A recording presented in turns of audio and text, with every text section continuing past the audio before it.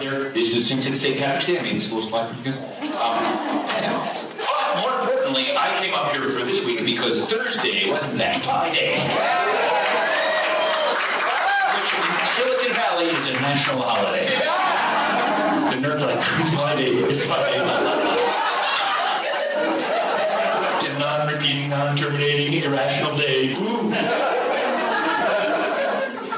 So I did all these pie jokes on Thursday night. We had a big pie crowd.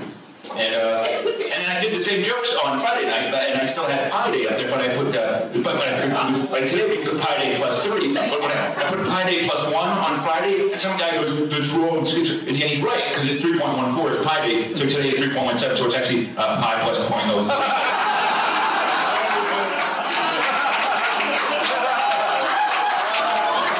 That really happened. That really happened on Friday night. I'm like, you suck, buddy.